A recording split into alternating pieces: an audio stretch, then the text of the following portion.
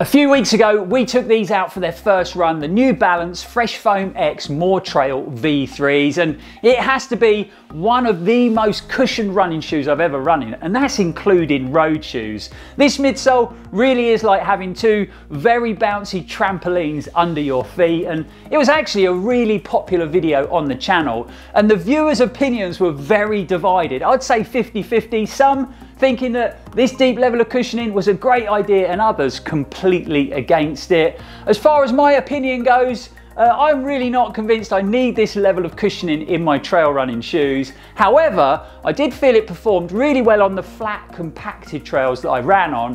And I also thought it'd make a good shoe for long races, say uh, 100k plus, that are on towpaths, gravel trails and long sections of tarmac. So in today's video, I'm gonna be lacing them up again and we are taking them out for a long run and we're bringing you guys along for the ride.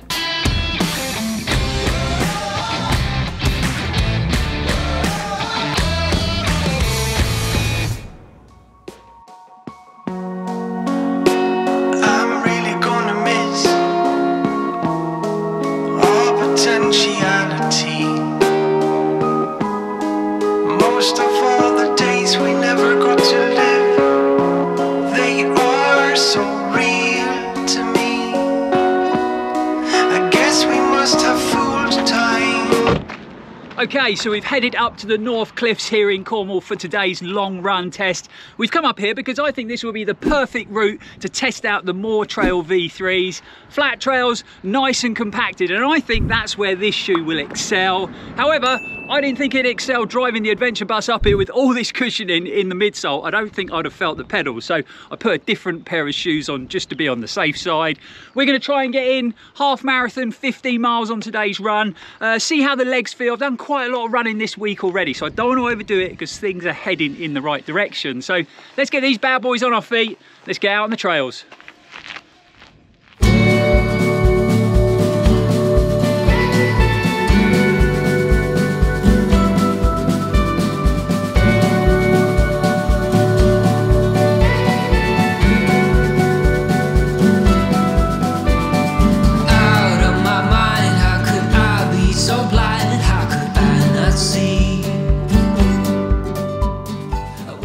Probably see from the footage as we drove up here, there was beautiful blue sky and sunshine. Now look at it behind me. That's the sea there. You can't see it, but it is there. The old sea mist has pushed in over the North Cliffs. This is how quick the weather can change down here in Cornwall. Crazy. Well, there you go. If you ever wanted a reason to get out on the trails, get out in nature, I've just seen it. Not only have we got stunning views, but I've just seen mummy duck with her little babies out for a walk on the Ghost Bar. So cute, man. It was worth coming out here just for that.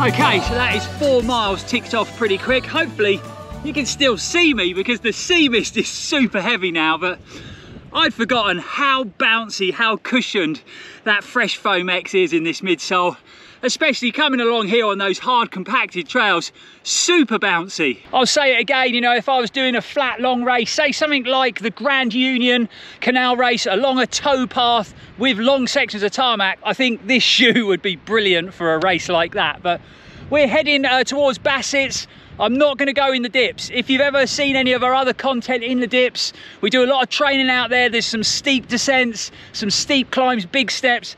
I, have got to be honest, I just wouldn't feel that confident in this shoe out on that terrain. So we're going to be doing a right at Bassett's and we're going to be heading into Tehidy Woods and picking up some of the nice flat compacted mining trails. But yeah, so far, super comfy. You knocked me down, swept my feet off the ground, left me on the floor hard to resist. Got me looking like this, like no one before.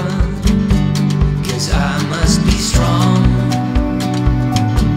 Cause this might go on for long. Cause I was wrong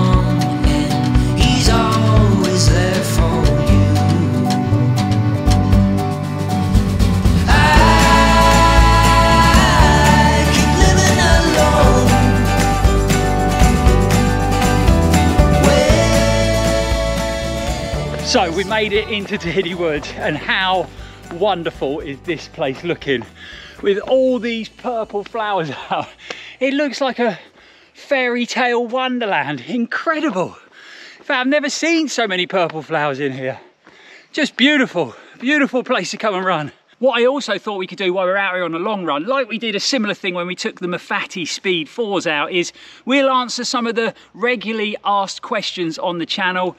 Uh, with the channel growing, we obviously get a lot of comments, which I love. I love hearing your feedback uh, about what you're up to running wise, but it's so hard to get back to everyone. We're getting hundreds and hundreds of comments a week, uh, like I say, which I really appreciate, and I try and get back to as many as I can, but I think these long runs are perfect opportunity to get back to some of them questions. So the first question that we're going to answer, and we've been asked this a lot since our sort of race calendar video, is are we going to be going to the Serpent Trail this year? Now, if you follow the channel for any period of time, you'll know that I love going and running Freedom Racing Serpent Trail. I love the route, I love the atmosphere they've created with the event, and I've actually run the 50k three times now, and I love it every time I go. So a simple answer is yes, hopefully myself and Liga will be at the Serpent Trail this year. Uh, it's always great to meet up with viewers of the channel. There's always incredible support for the channel at the Serpent Trail. So uh, if you're going, hope training's going well and hopefully we'll see you at the event. Okay, right, so what, seven miles down, we're just heading towards the mining trails through the woods. So I suppose we better get running. That's what we came here to do.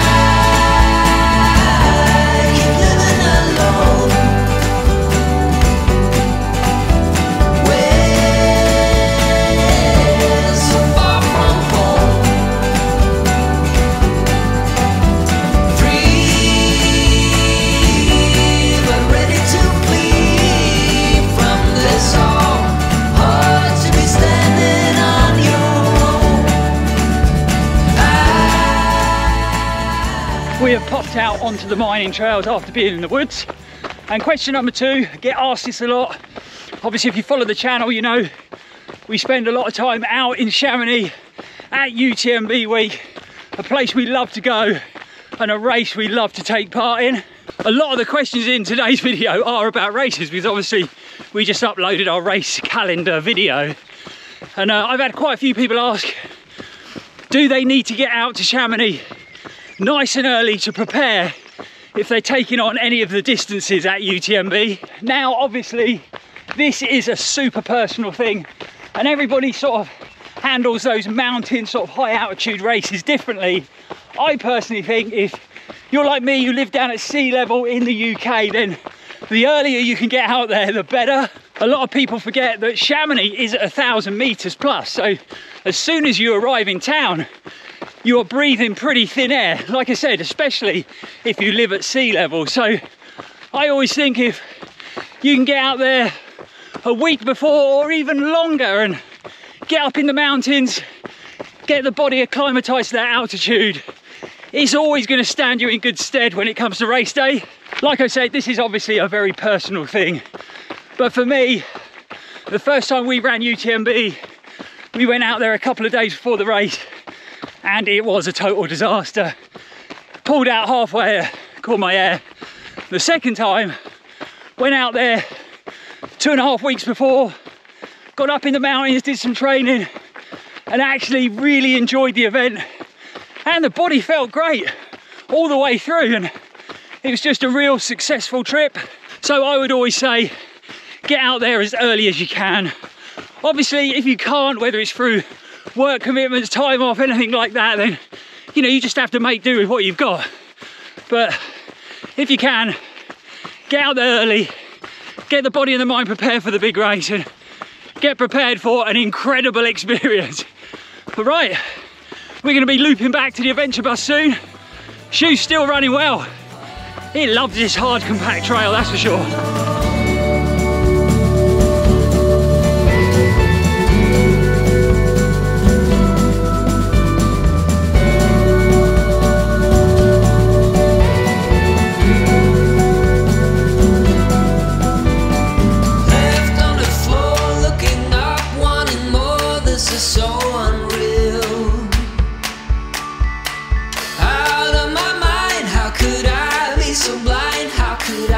See? I must have been wrong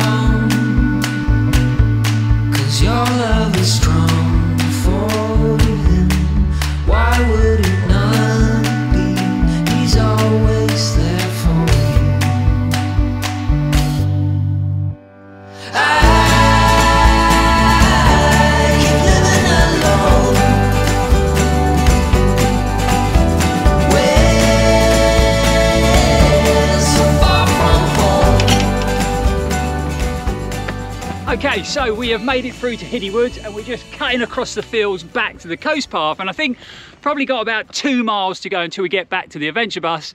And bizarrely enough, we are bathed in sunshine again. Totally bizarre weather on today's run. So the third and final question, and I've actually been asked this three times in the last week, bizarrely enough, and it is another race related question. Uh, it is, are we ever gonna be heading up north to take on the Cheviot Goat? Now, I've never run this race, but I know all about it because I've had lots of friends take it on. And I've got to be quite blunt with this answer. And the answer is Definitely not. Now, I'm sure it's a spectacular race on an incredible route, but the sound of wading through bogs, self-navigation and horrendous weather conditions, to be honest, sound like my worst nightmare. And anyone that knows me knows that when I take on a race, I need big pointy high-vis arrows and marshals telling me where to go because my navigation is shocking. Funny true story, uh, my second ultra, we went up Exmoor, 40 miler. I'd paired up with this guy running in the last sort of five miles and we were being chased by another runner. So we were pushing hard. Uh, we missed the uh, high vis arrows. Yes, this was a Waymarked race several times. And to the point where we missed the last one to turn left back down to the road. Uh, we had to run about two miles further than we should have done and we had to cross the finish line the wrong way. So that is how bad my navigation is. I've got to say one thing though. It's not quite as bad as andrew ferguson's from the mud crew because he actually crossed the wrong finish line of the wrong race. So the answer is unfortunately no. We won't be taking on the cheviot goat but i'm sure we will be heading up north at some point and taking on some of the other amazing races that they have. But let's get back to the adventure bus. Like i say a couple of miles to go and then we'll will give you a full conclusion on how the More Trail 3 has performed out here on its long run.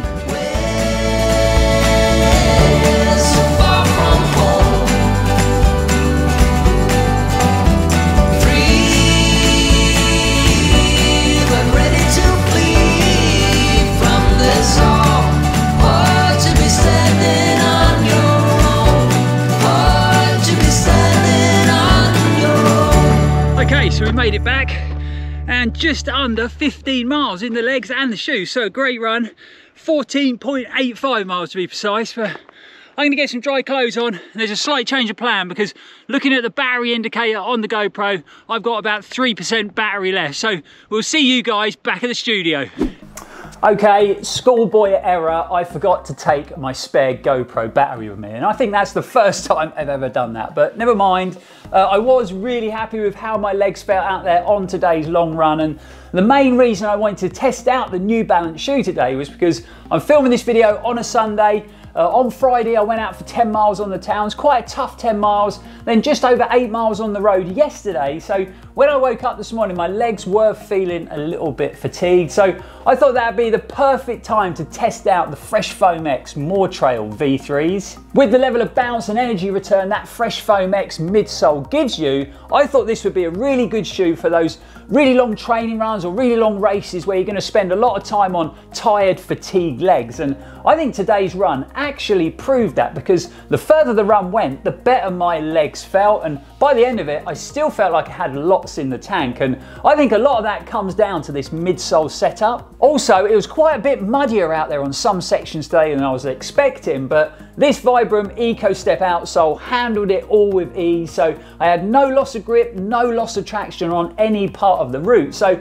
I really think that the, the More Trail V3s are a deeply cushioned shoe that can handle those tricky, wet, muddy conditions here at wintertime in the UK or anywhere else in the world, come to think of it. Uh, really were a joy to run in on today's long run.